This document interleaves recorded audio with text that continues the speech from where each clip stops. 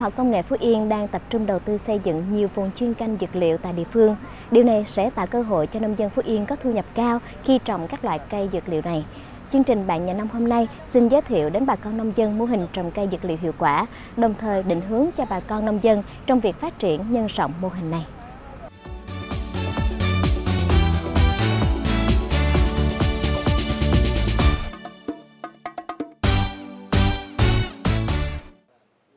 Tỉnh Phú Yên đang tiến hành các giải pháp để bảo tồn, phát triển cây dược liệu, làm thuốc trên địa bàn nhằm khai thác có hiệu quả nguồn tài nguyên dược liệu, cung cấp thuốc cho nhu cầu chữa bệnh trong y học cổ truyền ở địa phương.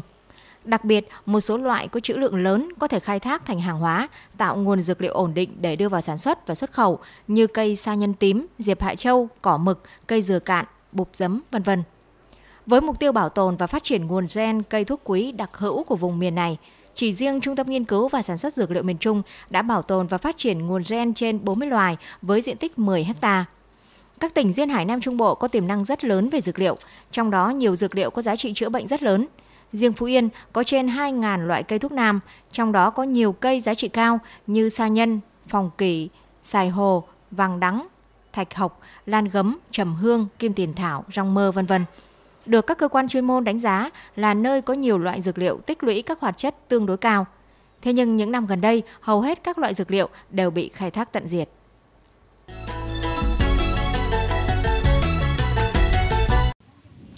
Áp dụng khoa học công nghệ tiên tiến từ khâu gieo trồng đến thu hoạch và chế biến, tỉnh Phú Yên đã triển khai mô hình trồng cây dược liệu theo tiêu chuẩn Việt Gáp đến với bà con nông dân.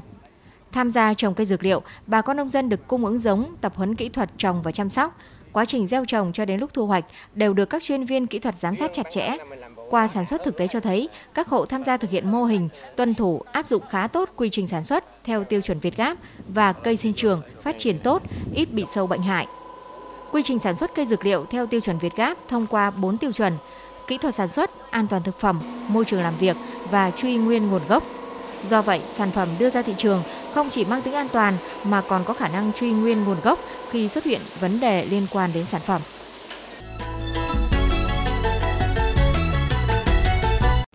Với việc triển khai dự án trồng và phát triển cây dược liệu an toàn phù hợp với vùng đất Phú Yên để làm thuốc trong nước và xuất khẩu của Trung tâm Nghiên cứu và Sản xuất Dược liệu miền Trung, nhiều nông dân tỉnh Phú Yên đã thoát nghèo và có công an việc làm ổn định. Theo các hộ dân, so với các loại cây khác, cây diệp Hạ Châu dễ trồng, dễ sống, ít sâu bệnh và lớn rất nhanh, chi phí lại thấp. Bình quân trồng 500 m2 diệp Hạ Châu chỉ tốn khoảng 1 kg hạt giống. Thời gian sinh trưởng ngắn, từ khi xuống giống đến khi thu hoạch khoảng 35 đến 45 ngày. Vì vậy, mỗi năm có thể sản xuất được khoảng 7 đến 9 vụ. Nếu tính giá thị trường hiện nay khoảng hơn 4.000 đồng một kg thì mỗi xào thu được từ 4 đến 5 triệu đồng mỗi vụ.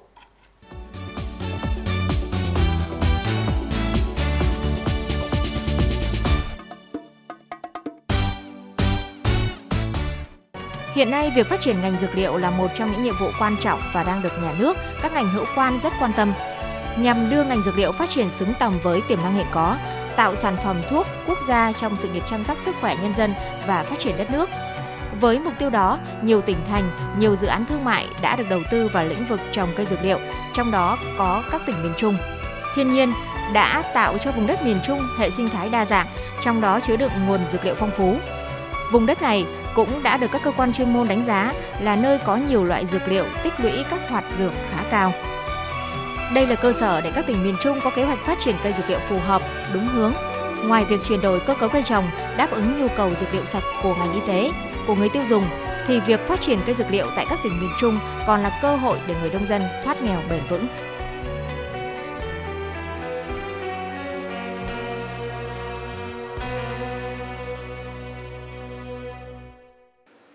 Theo đánh giá ban đầu, chỉ riêng tại Phú Yên hiện có trên 2.000 loại cây thuốc nam, trong đó có nhiều cây giá trị cao như sa nhân, phòng kỷ, sai hồ, vàng đắng, thạch học, lan gấm, trầm hương, kim tiền thảo, rong mơ vân vân.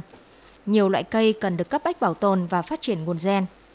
Với tiềm năng lợi thế đó, trong chiến lược phát triển ngành y tế nước ta, tỉnh Phú Yên được xác định là một trong 10 vùng trọng điểm trên toàn quốc được quy hoạch vùng sản xuất dược liệu. Đây là cơ sở để tỉnh Phú Yên cùng với các doanh nghiệp có kế hoạch phát triển cây dược liệu phù hợp với chiến lược phát triển chung của ngành dược liệu Việt Nam. Đồng thời thực hiện chương trình chuyển đổi giống cây trồng phù hợp với điều kiện sinh thái đặc trưng của vùng đất Nam Trung Bộ, đem lại thu nhập kinh tế ổn định cho người dân. cái địa thế vị trí địa lý và thời tiết khí hậu của Phú Yên có một cái đặc điểm là thời tiết khí hậu à, nắng nóng nhưng mà cái lượng mưa nó trải dài quanh năm do đó nó rất là thích hợp với những cây mà có hoạt chất alkali những cây có hoạt chất sinh học. Và chúng tôi đã trồng được trên đất viên những cái cây đó có có hoạt chất rất là cao so với những vùng trồng khác. Cái việc mà phát triển cái cây dược liệu ở duyên hải, Nam Trung Bộ này thì cái tiềm tiềm năng còn rất là lớn. Và cái điều kiện để phục vụ, điều kiện để mà phát triển cây dược liệu này cũng khá thuận lợi và qua những thực tế chúng tôi đi thăm ở khu vực Bình Thuận, Nha Trang, rồi hôm nay là tại Phú Yên thì chúng tôi thấy rằng một cái tiềm năng còn rất lớn mà chúng ta chưa khai thác được hết. Việt Nam là một cái quốc gia rất là giàu về nguồn nguồn tài nguyên thiên nhiên mà trong đó những cái cái loại cây cây như là cây dược liệu thì có thể nói là được biết đến không chỉ ở Việt Nam mà cả trong khu vực. Uh, theo cái khảo sát và đánh giá của bên đơn vị của chúng tôi trong một cái chương trình uh, hỗ trợ làm về cái, cái thương mại sinh học đối với lại cây dược liệu ở Việt Nam uh, do cục kinh tế liên bang Thụy Sĩ là Seco tài trợ thì uh, thì uh, với 4.000 loại cây dược liệu khác nhau thì đây là một cái tiềm năng vô cùng là lớn đối với Việt Nam. À, ở trên khắp lãnh thổ Việt Nam thì mỗi một tỉnh, mỗi một vùng miền lại có những cái thế mạnh riêng và Phú Yên là một trong những cái thế mạnh đó. Đặc biệt là Phú Yên có một cái lợi thế là đã được phát triển đã được tìm hiểu và phát triển từ khá lâu rồi và đã là hiện tại Phú Yên được coi là một cái mô hình dẫn đầu về sản xuất cái nguồn cung dược liệu sạch cho cho một số doanh nghiệp dược trong nước và kể cả thế giới. Khởi động từ những năm 1987, nhưng cho đến năm 2007, Trung tâm Nghiên cứu và Sản xuất Dược liệu miền Trung mới đẩy mạnh việc liên kết phát triển trồng cây dược liệu tại các tỉnh miền Trung như Phú Yên, Bình Thuận, Ninh Thuận, Gia Lai. Với các giống cây trồng như bụp giấm, diệp hạ châu, gừng Nhật Bản, dứa Cayenne. Ngoài việc hướng tới mục tiêu nghiên cứu thuần hóa, di thực các cây dược liệu ở vùng nhiệt đới phù hợp với điều kiện khô cằn khắc nghiệt của miền Trung – Trung tâm còn tập trung nghiên cứu sinh lý, sinh thái, giống, kỹ thuật trồng một số cây dược liệu của vùng ven biển miền Trung,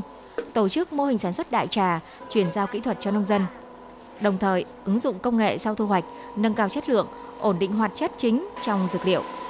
Tạo giá trị gia tăng cho dòng sản phẩm dược liệu sạch theo tiêu chuẩn Việt Gáp GACPHU. Với mục tiêu đó, nhiều dự án đề tài đã được triển khai hiệu quả, đem lại lợi ích nhiều mặt trong việc phát triển kinh tế địa phương – giải quyết việc làm cho lao động và góp phần bảo tồn, phát triển nguồn gen của các cây dược liệu quý hiếm. Trong đó, đề tài dự án trồng và phát triển cây dược liệu an toàn phù hợp với vùng đất Phú Yên để làm thuốc trong nước và xuất khẩu, với hai cây trồng chủ lực là diệp hạ châu và tần giày lá, đã đạt được kết quả khá khả quan. Riêng mô hình trồng cây diệp hạ châu, loại cây được xem là dược liệu hỗ trợ trong việc điều trị các bệnh về gan đã được nhân rộng đến nhiều bà con nông dân tại địa phương. Với cái mô hình trồng dì bà châu thì chúng tôi có thể khẳng định rằng người nông dân thật sự là là có lợi nhuận bởi vì với một cái hecta trồng trong 6 tháng ờ, từ tháng 2 đến tháng ờ, 7 tháng 8 hàng năm thì người nông dân có thể đem thu lại cái tổng cái thu của họ khoảng 200 triệu cho một hecta so với những cây trồng khác mà chính quyền địa phương ờ, yêu cầu thì khoảng 50 triệu thì cái này cái mô hình này đã gấp 4 lần cái thu nhập mà của chính quyền yêu cầu. Tham gia dự án này, người nông dân được tập huấn, chuyển giao kỹ thuật, cung ứng giống và quan trọng hơn hết là được bao tiêu sản phẩm ổn định đầu ra, ổn định về kinh tế. Ông Trần Xuân Bình là một trong những người đầu tiên tham gia dự án này tại Phú Yên. Gần 7 năm tham gia dự án, cây diệp Hạ Châu đã tạo nên sự đổi thay về mặt kinh tế cho gia đình ông. Quan trọng hơn, với sự đòi hỏi khắt khe trong quy trình sản xuất dược liệu để đạt được tiêu chuẩn Việt Gáp mà Trung tâm Nghiên cứu Dược liệu miền Trung đề ra, nhận thức của người dân trong việc áp dụng khoa học kỹ thuật và trồng trọt đã có sự chuyển biến. Thì trước đây mình làm lúa thì một xào lúa như vậy mình thu hoạch nó khoảng ba trăm rưỡi đến bốn trăm kg mà lúa thì khoảng không ổn định như này lúa bốn bốn ngàn bảy kg thôi thì cứ lên dưới hai triệu bạc cả chi phí. Còn cái cây này thì cả chi phí của mình phải nằm trên dưới 4 triệu đồng. À, tổng thu nhập á, thì của mình à, mình làm ở đây là năm ngàn mét vuông khoảng trăm hai chục triệu trên năm. Qua cái mô hình đi thì chúng tôi thấy là tất cả những người nông dân ở các cái à, hợp tác xã mà đã làm mô hình về cây dược liệu thì đều có thể tham gia những người kể cả những người nông dân nghèo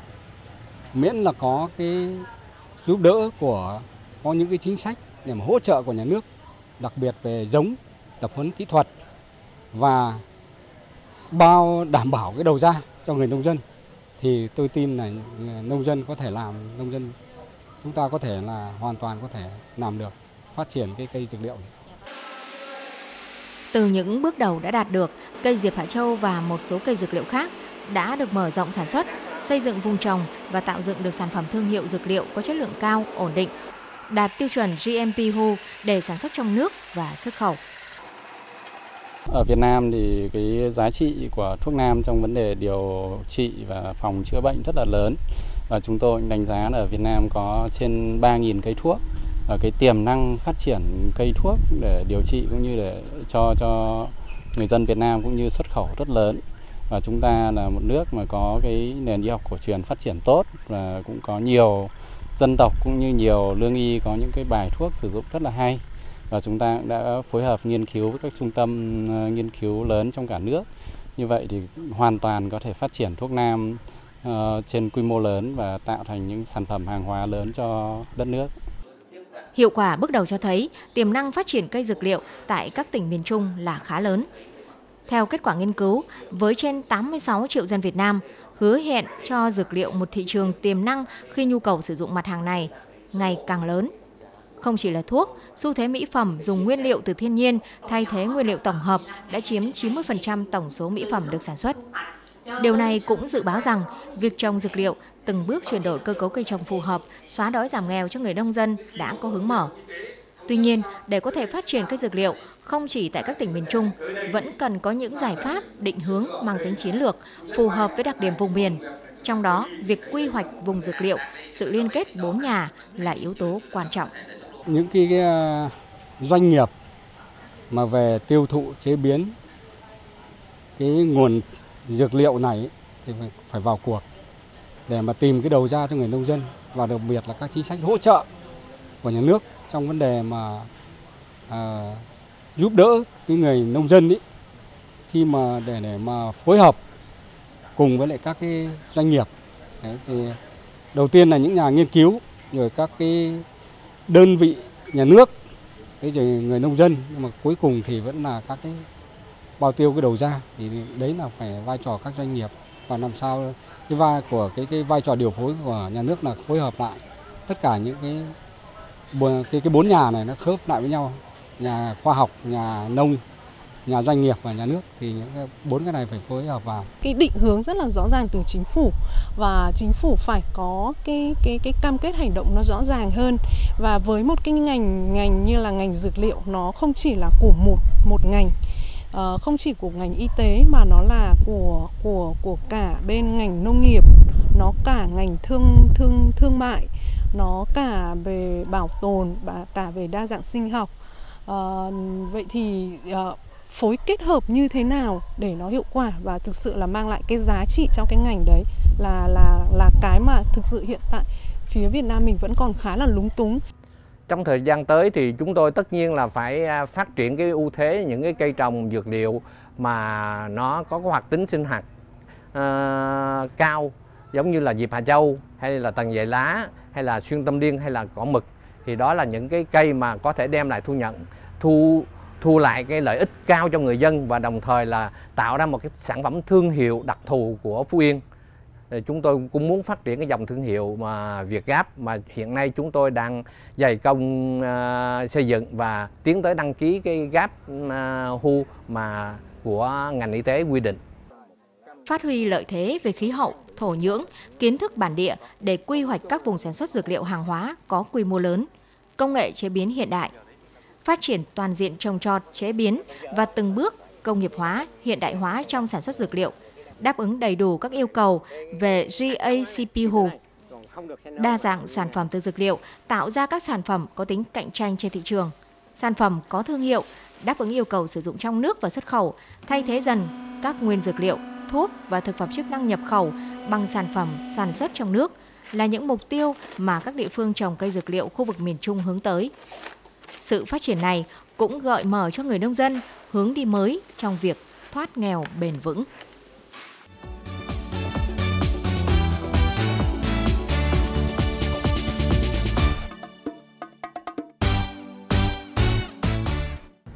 Thưa bà con và quý khán giả, với điều kiện sinh thái phù hợp cho việc phát triển cây dược liệu, tại tỉnh Phú Yên nhiều bà con nông dân đã thoát nghèo nhờ trồng cây dược liệu, trọng điểm là cây diệp Hà Châu. Tuy nhiên với yêu cầu đặt ra ngày càng khắc khe về nguồn gốc chất lượng sản phẩm dược liệu, thì việc trồng cây diệp Hà Châu như thế nào để có kết quả tốt nhất đang được các nhà khoa học chú trọng từ khâu sản xuất trồng trọt. Đó cũng là thắc mắc của khá đông bà con nông dân tham gia trồng loại cây dược liệu này. Để nắm bắt và hiểu hơn về kỹ thuật trồng cây diệp Hà Châu, chúng ta sẽ cùng gặp gỡ kỹ sư Lê Thị Tuyết Anh, giám đốc trung tâm nghiên cứu và sản xuất dược liệu miền Trung. Thưa kỹ sư thì khi trồng cây dược liệu, ờ, đặc biệt là cây diệp Hà Châu thì có phải chúng ta phải lưu ý đến vấn đề chọn cái vùng sinh thái như thế nào cho phù hợp hay không ạ? À? Diệp Hà Châu là sử dụng là một cái cây thuốc, do đó là cái chất lượng của cái à, cây thuốc đó cụ thể như cái hàm lượng lít nhan ở trong cây thì rất là phụ thuộc vào yếu tố sinh thái tức là điều kiện à, thổ nhưỡng điều kiện khí hậu à, điều kiện đất đai và cũng như là cái quy trình kỹ thuật là cái thời gian trồng và thời gian thu hái thì rất là ảnh hưởng cho tới cái chất lượng của cái cây diệp Hà Châu.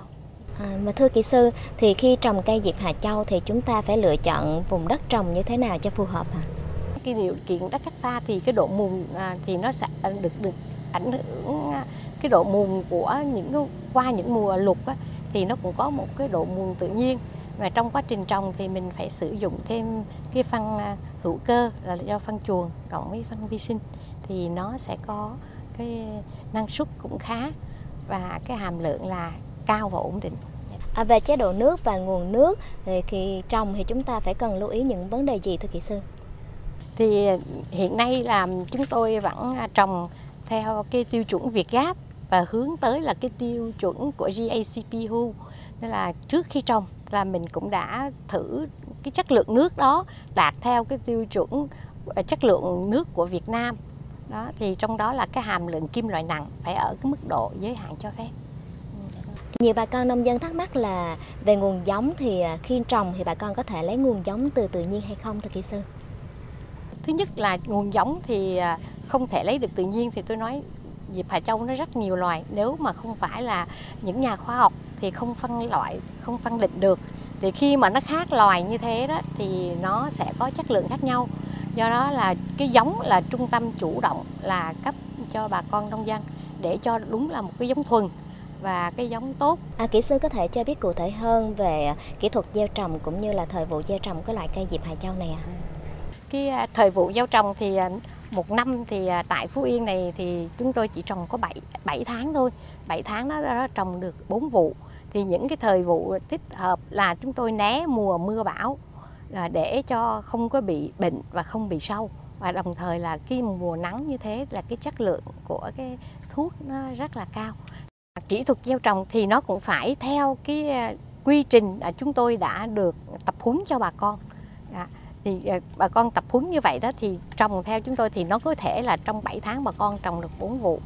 Mà chứ còn gì tỷ nếu mà bà con là à, trồng mà bón phân vô à, NPK vô cơ nhiều quá thì không thể nào trồng được đủ 4 vụ.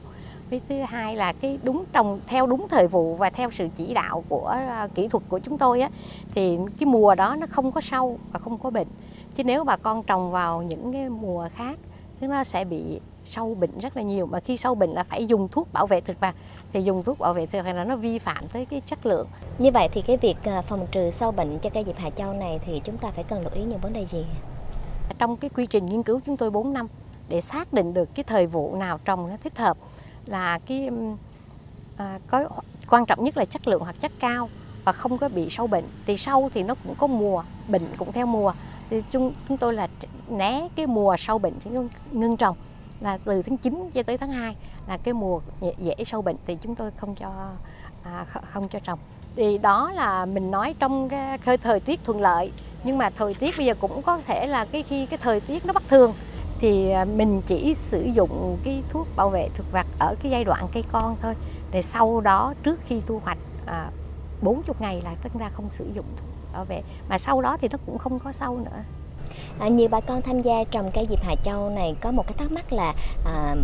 kỹ thuật đóng gói và cũng như là cách vận chuyển à, cây diệp Hà Châu từ đồng ruộng đến nhà máy như thế nào cho phù hợp ạ? À? Chúng tôi à, đã quy định với bà con tại vì là ừ, sẽ giao hàng về trước 7 giờ sáng thì bà con có thể là thu hoạch từ 3 3 giờ sáng tới 4 giờ sáng. Sau đó là sau khi thu hoạch thì chuyển về trung tâm trong vòng 4 tiếng. Thì do đó là lúc đó là hoạt chất của cây nó không bị biến mất trong quá trình và nó cũng không bị hư hỏng. Xin cảm ơn kỹ sư đã tham gia chương trình của chúng tôi.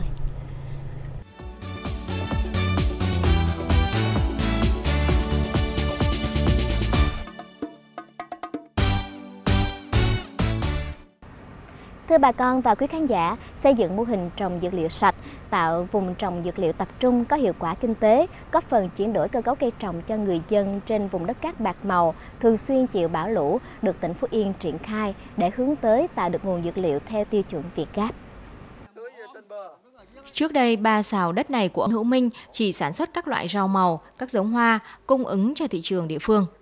Giá hoa rau thất thường, đầu ra không ổn định nên cuộc sống gia đình ông luôn bấp bênh. Giờ đây, ba sào đất của ông đã phủ xanh một loại cây trồng mới, cây diệp Hải Châu, một cây thuốc quý trong việc điều trị bệnh gan. Với lợi thế đất đai lớn, điều kiện khí hậu thổ nhưỡng phù hợp để trồng cây dược liệu, Trung tâm Nghiên cứu và Sản xuất Dược liệu miền Trung đã chọn vùng đất cát ven sông Ba để canh tác cây diệp Hải Châu. Ông Minh là một trong 10 hộ dân đầu tiên trong vùng tham gia loại cây trồng mới này. Được trung tâm cung ứng giống, bao tiêu sản phẩm, đầu ra ổn định, giá cả khá phù hợp, nên cuộc sống của gia đình ông đã khấm khá hơn trước.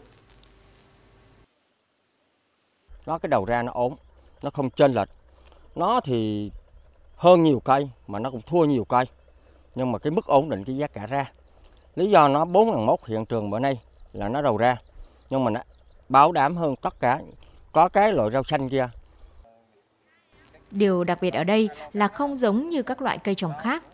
Cây diệp Hải Châu được ông Minh tiến hành canh tác theo tiêu chuẩn Việt Gáp với sự hướng dẫn của các kỹ sư nông nghiệp. Quy trình sản xuất theo tiêu chuẩn Việt Gáp đòi hỏi khá nghiêm ngặt đối với người trực tiếp sản xuất. Sử dụng phân thuốc như thế nào, công việc thực hiện hàng ngày, người thực hiện, ghi chú, đề xuất ra sao, tất cả những tác động đến cây trồng vân vân đều được ông ghi chép cẩn thận trong sổ nhật ký sản xuất. Theo ông Minh, việc kỹ càng trong việc ghi chép giúp người nông dân cũng như kỹ thuật viên giám sát được chất lượng cây trồng. Điều này cũng quyết định thu nhập của người nông dân trong một vụ. Hồi lúc ban đầu là coi như làm là cũng bỡ ngỡ, học học cho bỡ ngỡ. Nhưng mà sau này đã thông quen rồi thì nó cũng rất là dở chứ không có cái gì là khó. Còn bây giờ bà con tự nuôi bò, trồng có, lấy có, lấy phân trở lại làm cho rau. Mình có thu nhập liên quần đấy nó cũng đỡ phần hơn. Việc sản xuất và canh tác theo hướng Việt Gáp đã và đang mở ra nhiều cơ hội cho nhà nông bởi quy trình sản xuất này có nhiều ưu điểm như tiết kiệm chi phí sản xuất, hàm lượng hoạt chất trong dược liệu cao, đảm bảo an toàn vệ sinh thực phẩm, giá cả mang tính cạnh tranh cao trên thị trường. Từ mô hình của ông cho đến nay đã có gần 150 hộ tham gia và làm giàu từ việc trồng cây diệp hạ Châu theo tiêu chuẩn Việt Gáp. Sản xuất theo tiêu chuẩn Việt Gáp thì nó khác với những cái sản xuất bình thường khác là chúng tôi phải truy xuất được cái nguồn gốc xuất xứ. Tức là từ cái sản phẩm chúng tôi đưa ra thị trường chúng tôi có thể tìm thấy được cái sản phẩm tôi bắt đầu từ người nông dân nào mà à, cung cấp nguyên liệu đó. Và như vậy thì chúng tôi kiểm soát được cái dòng lưu chuyển của sản phẩm và có thể tìm ra những cái à, à trở ngại nếu mà sản phẩm à, bị à, khiếu nại và như vậy chúng tôi có điều kiện để khắc phục được những cái thiếu sót của mình để đưa cái sản phẩm của chúng tôi đảm bảo được chất lượng và được sự ờ, tin dùng của thị trường. Việc sản xuất theo quy trình Việt Gáp đã làm cho nhiều nông dân tại tỉnh Phú Yên rất phấn khởi bởi hiệu quả mang lại khá cao. Ngoài việc đời sống kinh tế được nâng lên, thì trồng cây diệp Hải Châu theo tiêu chuẩn Việt Gáp đã thay đổi lối canh tác truyền thống còn khá nhiều hạn chế để từng bước giúp bà con ứng dụng khoa học kỹ thuật vào trồng trọt, góp phần xây dựng nên vùng chuyên canh dược liệu có vị thế trong khu vực Nam Trung Bộ.